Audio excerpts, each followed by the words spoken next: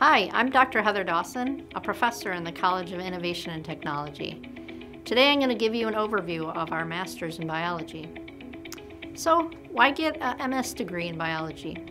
Well, you can gain the knowledge and skills you need to innovate in molecular biology, ecology, or other biology-related fields. It can open up new opportunities in terms of employment or professional schools and give you a higher earning potential. So what is it that sets U of M Flint's program in biology apart? It's that MS in biology blends sophisticated hands-on training and techniques within new areas of research. We have expert faculty across multiple fields within biology, such as molecular biology, microbiology, biotechnology, genetics, ecology, organismal biology and behavior. We have a comprehensive curriculum, which I'll introduce to you to in upcoming slides. Our laboratories are state-of-the-art and some were just recently updated. We also have small class sizes, which gives students an opportunity to work closely with faculty. And courses are often lab intensive or field intensive, where new techniques are taught. So our program has two options. The thesis option is when you work closely with a professor to complete directed research over a few years. This requires courses in a graduate thesis and thesis research, and additional graduate level courses in biology to complete 30 credits. Our other program option is the non-thesis option, which requires a graduate level seminar course and additional graduate level courses in biology to complete 32 credits.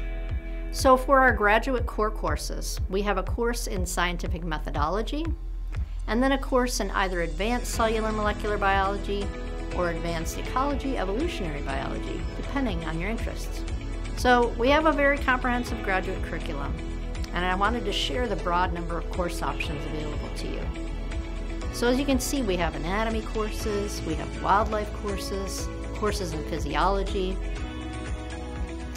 We have pre-medical, behavior, biomechanic courses. We have evolution, and quite a few organismal courses. We have molecular courses, special topics, classes, and even a non-thesis research course if you are a non-thesis student that wants to do some research.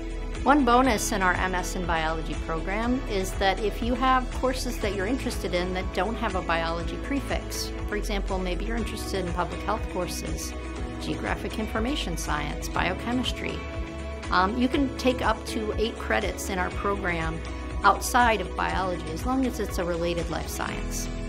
So our admission requirements are a bachelor's degree in biology or related life science from an accredited institution. Um, your minimum undergraduate grade point average should be at least a 3.0 on a 4.0 scale. And then we do require that you have a minimum GPA of 3.0 in the required prerequisite courses.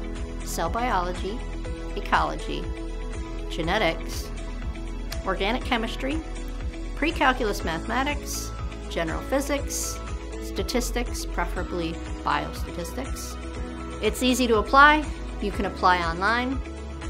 You will need official transcripts from undergraduate institutions, a statement of purpose, uh, letters of recommendation, and make sure to choose recommenders who can attest your ability to excel in courses and in research if you're pursuing the thesis option. The GRE is not required. Thank you so much and we are looking forward to your application.